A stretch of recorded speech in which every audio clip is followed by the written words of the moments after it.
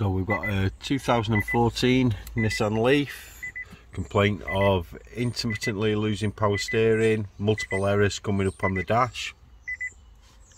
We're using the KTS for this.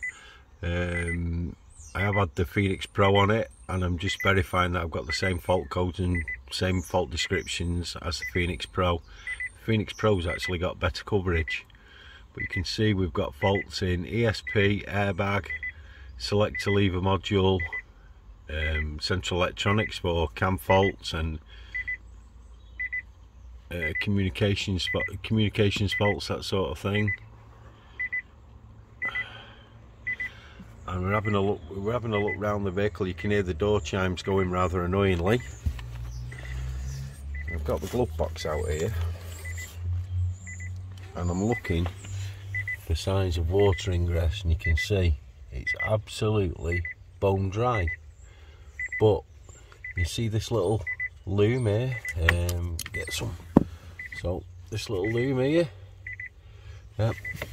Listen to this. What? All I'm doing is touching the loom very very lightly.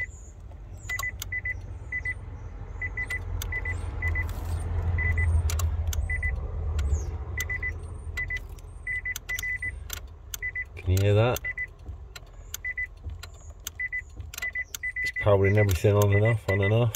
So we've got an issue there. Let's have a let's have a little look what's going on. Just turn the key off.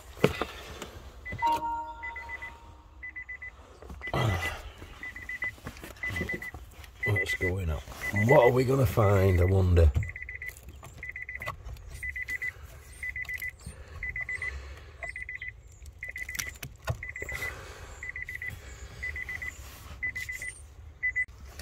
So let's have a look in the individual connectors.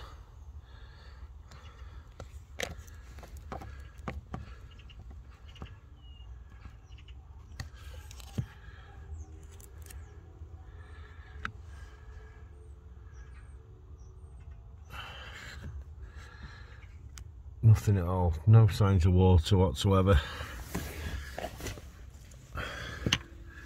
And on the, the connectors themselves,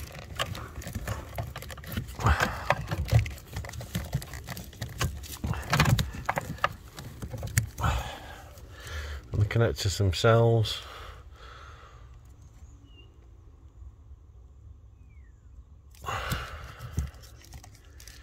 do, do, do, do, do.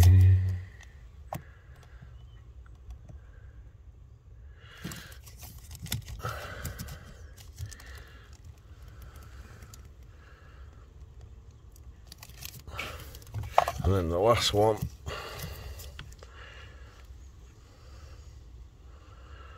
nothing at all.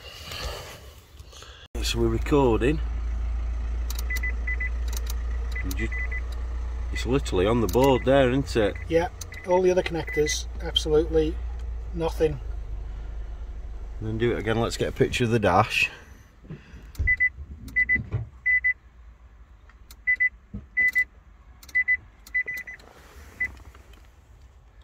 So it's okay like that. Yeah. There.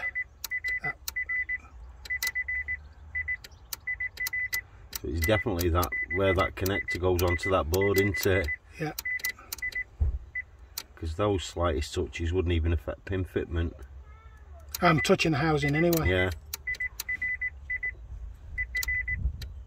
How's it going? Mm. Not well. You can see we're actually using the KTS there and we're looking at pins 6 and 14 using the inbuilt oscilloscope within the KTS 590.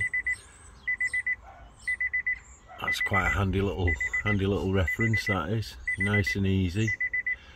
Then we just bring the time base down.